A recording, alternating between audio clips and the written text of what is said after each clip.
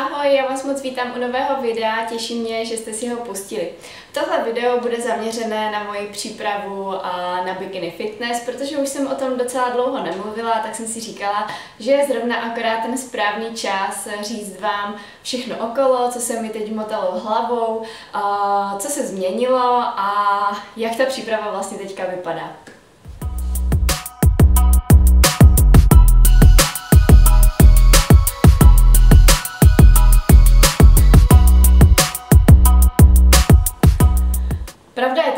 Že v průběhu veškeré té práce a tak jakoby celkově mojeho životu jsem najednou ztratila na ty uh, svoje bikiny, na tu přípravu uh, nějaké soustředění. Začala jsem tak trošku přemýšlet nad tím, jestli to teda opravdu chci, jestli se do toho chci pouštět a proč to vlastně všechno dělám. A tak nějak jsem prostě ztratila to soustředění. To bude asi uh, nejlepší připodobnění. Začala jsem více běhat. Pokud mě sledujete na Instagramu, tak jste to možná postřehli, že jsem si uh, k tomu chození do fitka, kromě hor, protože to už víte, že já dělám, přidala teďka běhání, no a protože jsem chtěla, aby to mělo nějaký cíl, tak jsem začala běhat podle plánu na půlmaraton. O tom třeba zase někdy jindy, každopádně už jsem velmi blízko, protože už mám za sebou nejdelší trasu 15 km, což by mě asi třeba před rokem v životě nenapadlo, že uběhnu takovouhle štreku. A takže už mám k tomu půlmaratonu velmi blízko a docela mě to začalo strašně bavit. Ale to jsem teďka odbočila. No během toho, co jsem začala takhle více běhat, uh, jsem v podstatě začala běhat pětkrát do týdne, trošičku jsem upustila od toho chodit do fitka, protože se mi to trošičku křižovalo a chtěla jsem mít připravené nohy na ten běh a nechtěla jsem je rasovat v tom fitku. No a tak nějak, jak už jsem zmiňovala, oh, už dvakrát, jsem ztratila ten fokus.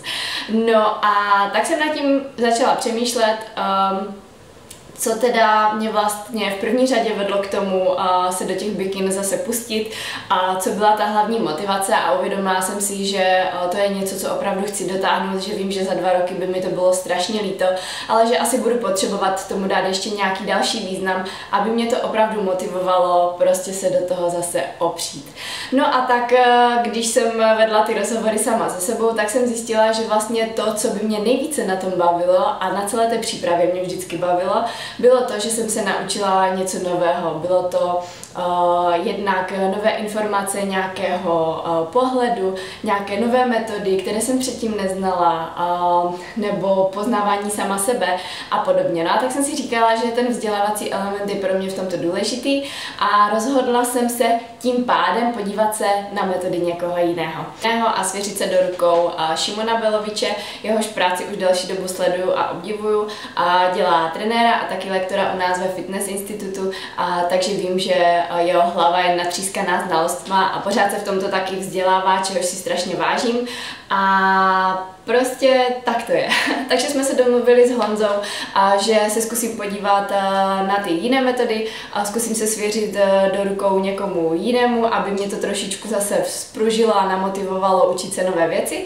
A s Honzou jsme normálně za dobře, já ho pořád jako odborníka nesmírně uznávám i jako osobnost, ale zhodli jsme se na tom, že mě tohle posune. On je i teďka hodně pracovně vytížený a přeci jenom uh, už jsme spolu uh, se na ty závody připravovali dvakrát, takže věřím tomu, že se teďka naučím něco nového a fakt se na to těším. Tohle je asi jedna z těch velkých změn.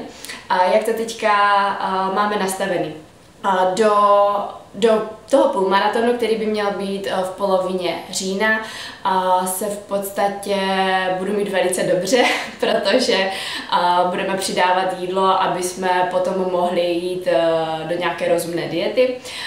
Takže eh, teďka se mi každý týden jídlo o nějakou část zvyšuje. Zajímavý strašně je, že Šimon má brutální tabulky a pracuje s, hlavně s množstvím té energie mezi příjmem a výdejem, takže i ve chvíli, kdy já v tom týdnu mám třeba větší výdej, protože jdu více na hory nebo běžím nějakou delší trasu, a tak si sama i tomu přizpůsobuju to jídlo, ale teďka už to zase všechno zpátky trekuju, abych o tom měla jasný přehled. A takže zpátky zapisuju jídlo do kalorických tabulek, vlastně mi to ani ničemu nevadí, zjistila jsem, že stejně je to něco, co už e, dělám docela automaticky, a, takže není to pro mě nějaká jako zásadní věc, a, takže trekuju všechno do tabulek, vypisuju to jemu do tabulek a poměrně rychle jsem si na to zvykla. A Šimon se mi taky stará o tréninky. Přední nohou. Přední noha zdepuje. Zadní noha se trochu. No. Je tam předklon, abych zabírala s jiný těma. A silové tréninky mám teďka nastavené třikrát do týdne, je to full bodyčko. Není to zatím nic extrémně náročného, protože přece jenom jsem teďka to fitko měla lehce rozházený, takže tak, aby si to tělo na to zase nějakým způsobem navyklo. Co je strašně zajímavé, že mám všude nastavený odpočinkový pauzy na dvě minuty, což je pro mě strašně dlouhá doba.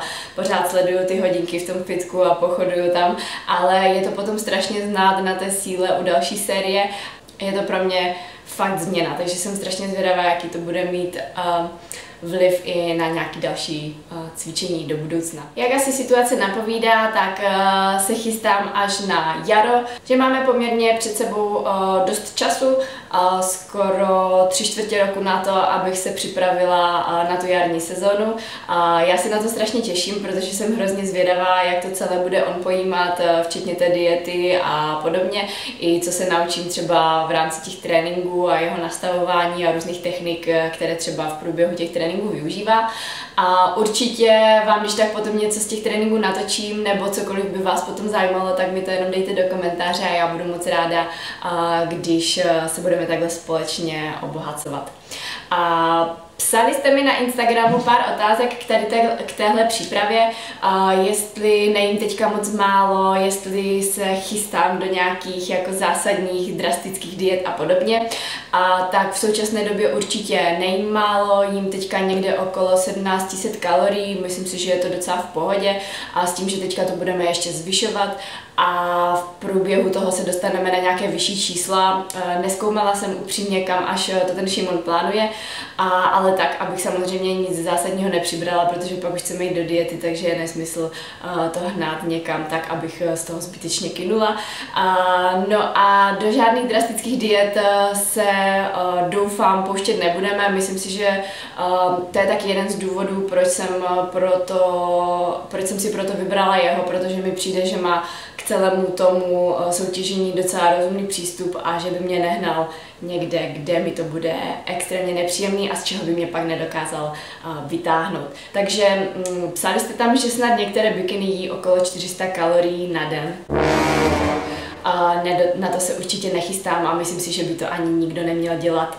A není, to, a není to dobrý a myslím si, že to ani není potřeba. A ptali jste se mě taky, jestli plánuju intuitivně jíst i teďka před soutěží, a tak jak už jsem naznačila, tak ne. už to zpátky zase trekuju, abych měla přehled o tom, kolik té energie je. A jakým způsobem mám rozdělené partie a kardio nebo jedeš na pocit. A, tak to už jsem vlastně taky naznačila, jedu teďka třikrát do týdne full bodyčko s tím, že předepsané kardio nemám žádné, ale běhám do toho hodně v rámci té přípravy na ten půlmaraton a těch běhů je v týdnu asi pět, s tím, že jeden je velice kratoučký 15 minutový, jeden takový recovery 30 až 40 minut jako na pohodu, dva intervaly a jeden uh, nějaký dlouhý. Uh, takže jako třeba um, naposledy to bylo právě těch 15 kilometrů. Takže, uh, takže teďka to mám takto. To je docela dobrá otázka. Jestli sleduju nějaké aktuální bikiny závodnice, které mě motivují a jestli beru to, že se trend posunul k víc muskulaturnější postavě, než když jsem začínala. Jestli se nebojím, že budu za holkama zaostávat, protože dnes je konkurence veliká, co znám ze závodu, ale záleží, jak se to sejde. A sleduju strašně maličko bikin. A vlastně jsem přestala sledovat skoro všechny bikiny, ale ty, které mi zůstaly, a jsou Timea Trajtelová, kterou obdivuju vlastně už od jak živá, strašně se mi líbí její postava, protože je vyloženě taková, která se mi líbí, něžná, ženská a ona je navíc neskutečně miloučká holka. A sleduju ještě uh, Verunku Zemanovou uh, z Prahy, ta už teda má těch svalů více a takových tvrdších, a, ale nevím, je to vlastně jediná z těch bikin, která mi tam zůstala. A co se týče toho, jestli se nebojím, že budu zaostávat, tak uh, já s tím Prav, já s tím jako upřímně řečeno i trošku počítám.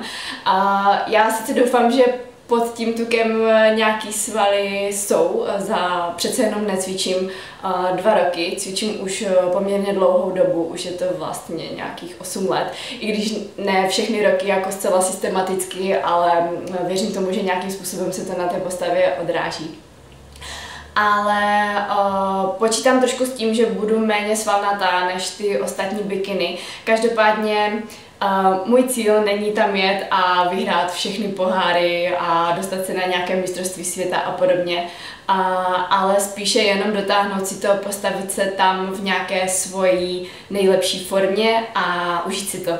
A takže počítám i s tím, že budu tím pádem možná lehce zaostávat, že budu spíše takového jako něžnější, takových něžnějších tvarů, což e, se ale mně osobně líbí a já bych se vlastně ani nechtěla nikdy hnát e, do toho, jak teďka ty holky vypadají, protože už je to v podstatě taková body fitness, když já jsem začínala než, než kdysi. No a takže nevím, snad jsem odpověděla na tuhle otázku, jakože nebojím se toho, neberu to jako závody, jako něco, na čem by měl stát můj život, ale je to jako něco, co si chci prostě dotáhnout a cítím se tam sama za sebe hezky. Jako nešla bych na tu pódium, kdybych uh, nevypadala dobře, kdybych s tím nebyla spokojená, ale to, že asi budu něžnější než ty ostatní holky, s tím tak trošku počítám. A, a jsem s tím úplně OK. tak, takže tolik asi Tolik asi eh, k mojí přípravě eh, na bikini fitness. Další video bude z prostředí Vysokých Tater, protože se tam chystám na Štrbské pleso na závod Red Bull 400. Je to běh do skokanského můstku na 400 metrů a plánujeme tam do toho i nějaké výšlapy v okolí právě do Vysokých Tater, takže budu ráda, když se potom mrknete a budu se těšit, že se uvidíme zase tady na YouTube a nebo třeba na Instagramu. Mějte se krásně, ahoj.